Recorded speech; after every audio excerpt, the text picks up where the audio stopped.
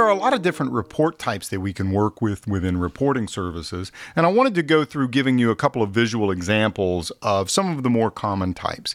Uh, uh, let me just say, I'm not going to show you every single report type that we can create or every little uh, piece that we can work with here. My goal is really just to give you an overview of the visual effects that a particular element will add to a report and give you some tips and pointers for when you should think about using that particular type. Okay?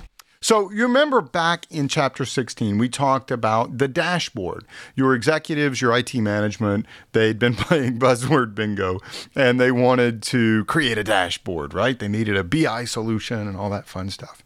And we used this sample report here. And I wanted to walk through several of the different parts of this report and just give you names that you can associate with the visual elements that you see. And then later on in the uh, a couple of videos from now, we'll go through and we'll actually create create some of these types of uh, charts here. Okay. So we had uh, what's called a spark line.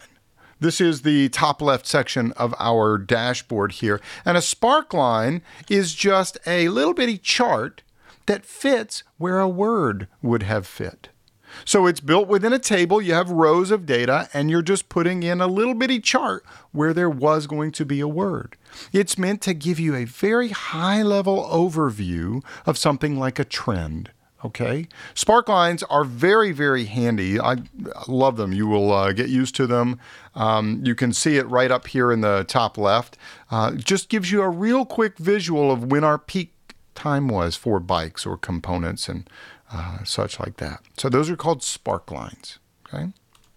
Now, line charts are, that's what we saw there. That was a, a spark line that was built on a line chart. These are just bigger. Okay, this is, uh, it's not built within a row. This might take up the entire page. Okay, so your line chart is much bigger.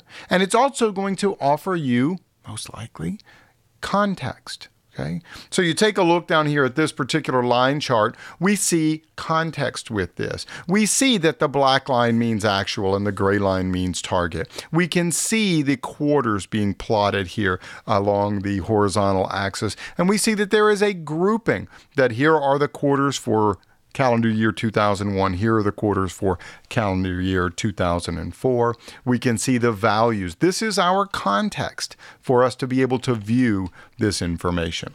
In the Sparkline, you just simply didn't have enough room to put in labels or to put in category listings along any particular axis. Well, in a line chart, it's much bigger and you will have that room there. Okay, so we use this to spot trends and show history. Uh, this is great when you have a time series. See, we're moving along this horizontal axis down here. The category axis is what this is called, or the x axis here. We're moving, we're plotting a contiguous line all the way across here. Okay, so we're connecting. Okay. Now, line charts can be big or they can be small. You see it's small enough here that we've embedded it in this particular dashboard. Now, bar charts are another good visual for comparison. Line charts might be better for trend spotting. I want to see which month we had our best uh, sales, for example. Uh, what built up to that? What was the preceding month? Uh, bar charts, though, are probably better for comparison. They're visually easy to spot. When you look at Q4 right here, okay, we can quickly tell that the US happened to be the leader. Okay. So they're really good for direct comparison. Okay. Now, data bars, data bars are similar to spark lines in that they are a single row value uh, chart, and they are just little bitty columns, uh, little bitty column charts, little bitty bar charts that are built within that particular row. See, we can do a direct visual comparison, right? Imagine that we didn't have this, that there was no visual, and now you're just dealing with a table. And yeah, you can see, hey, we sold 114, and this is, you know, about half of that. But that visual element really does set it off and says, okay, aha, I can see there's a big drop off between Mountain 200 and Road 150. I can just see that right there, okay? There you go, data bars. Now, gauges are just little visual analogies. Uh, these are things we're used to seeing probably on a day to day basis. And I think they're best for showing progress towards a goal. Uh, you get two types. One would be your radial gauge. This is like what you would see on your car or your motorcycle. Uh, and then you have a linear gauge. This would be somewhat like a thermometer, right? So we can set ranges uh, within those and target ranges, and you know we can see how what our progress is, where we are along a pathway. Okay. Now, indicators. Uh, going back, I'm reusing this same slide that we saw, uh, same same screenshot rather. This is an indicator showing, uh oh, something is bad. Okay.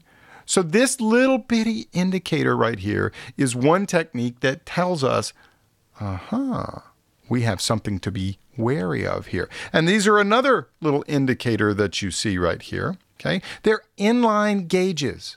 They're just really simple gauges with a single data point. Okay. We can tell whether or not right here with our indicator, hey, we have an uptrend, we have a downtrend right there. Okay. So they're just indicators. And if you've used Excel extensively since 2010, you know, your data bars, your indicators, those are big uh, things. We can have um, green, yellow, red.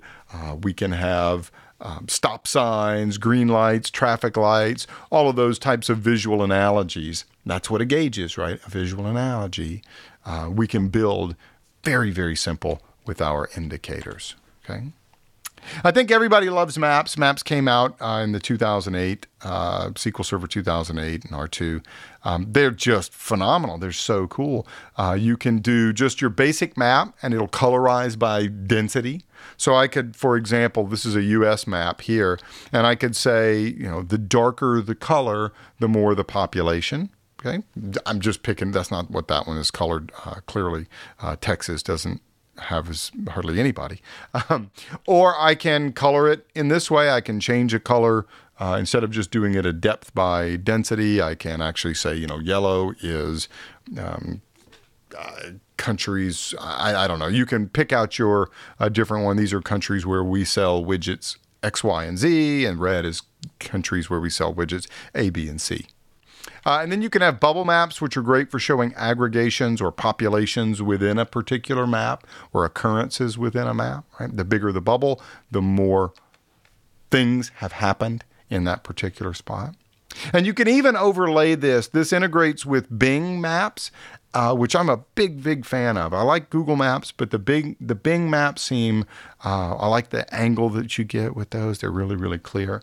Um, and so you can actually overlay road mappings or terrain mappings with this and do your plotting that way as well and embed that within the report. Really, really fancy stuff. Okay. Oh, you know, you have pie and donut charts, right? Uh, those are good for showing proportion.